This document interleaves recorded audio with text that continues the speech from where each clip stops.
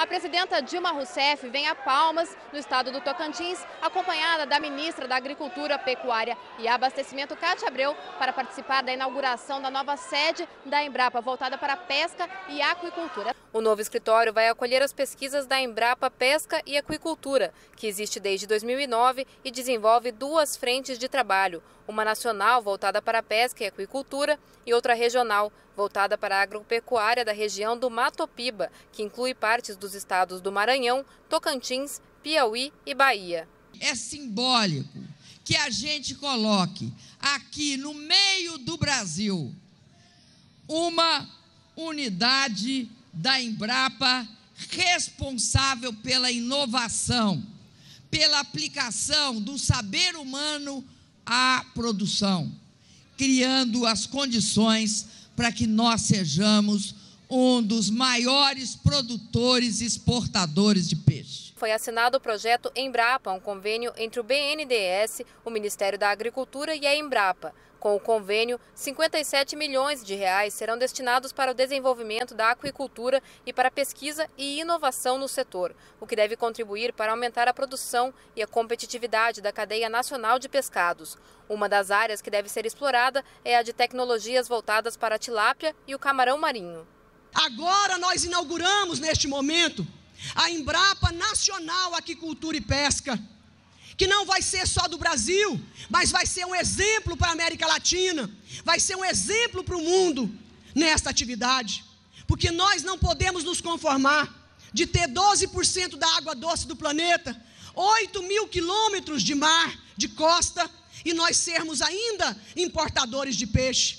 A presidente Dilma lançou e colocou nas mãos dos produtores rurais 202 bilhões de reais para financiar a agricultura comercial. E mais quase 30 bilhões de reais para a agricultura familiar.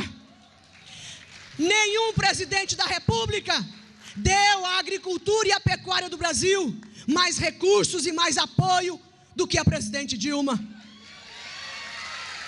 Os recursos para a agricultura aumentaram mais de 100%. Os recursos para o seguro agrícola, para que o produtor possa trabalhar em paz, também foram duplicados pela presidente Dilma. E as subvenções para que aqueles que não conseguem pagar o juro de mercado, a presidente Dilma não negou ajuda a essas pessoas.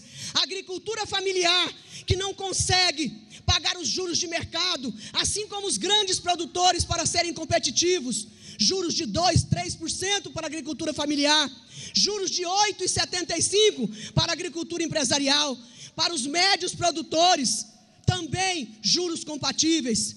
E a diferença desse juro mais baixo para a agricultura, com o juro que é praticado no mercado, a presidente Dilma compareceu com a subvenção para pagar os bancos essa subvenção. O investimento de 50 milhões de reais aqui na nova sede da Embrapa serve para financiar pesquisas como as que levaram ao desenvolvimento deste frigorífico móvel, onde é feito o processamento do peixe. Aqui são desenvolvidas pesquisas na área de genética, no desenvolvimento de sistemas produtivos. Nós queremos ajudar o Brasil a se tornar autossuficiente em pescado. A presidenta Dilma Rousseff anunciou a criação da Agência de Desenvolvimento da Região do Matopiba. A ideia é que a região se torne referência mundial, não apenas na produtividade agrícola, mas também em avanços sociais, em educação e saúde simultaneamente ao desenvolvimento do agronegócio. A presidenta Dilma Rousseff também visitou as instalações do frigorífico móvel desenvolvido pela Embrapa para o processamento de peixe e o local onde é coletado o material genético de peixes para pesquisa com DNA, além de anunciar a criação da Universidade Federal do Araguaia. Presidenta Dilma Rousseff e a ministra da Agricultura, Cátia Abreu, falaram sobre o processo de impedimento em tramitação no Senado.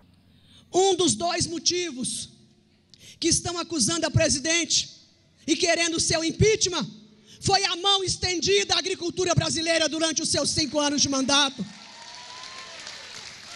A subvenção que foi aplicada aos agricultores, porque nós pedimos a presidente, nós apoiamos os seus planos, ajudamos a construir os planos safras e demonstramos a ela que a subvenção ao juro não é patrocinar protecionismos aos agricultores, mas sim para dar competitividade junto aos brasileiros, aos, aos, produtores americanos, aos produtores europeus, que têm um juro muito menor do que o nosso. E nós precisamos sim dessa subvenção para sermos competitivos. Senhora presidente, tenho orgulho de tê-la como presidente do Brasil. Tenho orgulho de ser sua ministra da Agricultura. Porque se antes se antes os planos safras eram construídos nos outros governos, pelos ministros da Fazenda, e no governo de Vossa Excelência, o plano safra foi construído com as entidades de classe e o Ministério da Agricultura e o Ministério do Desenvolvimento Agrário.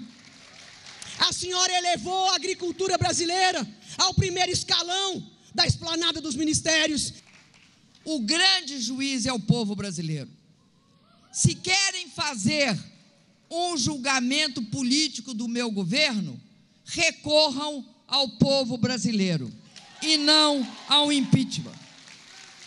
Se querem, se querem alterar qualquer programa, só quem tem a legitimidade do voto popular pode fazê-lo.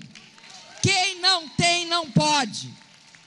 E nós não iremos permitir que isso aconteça.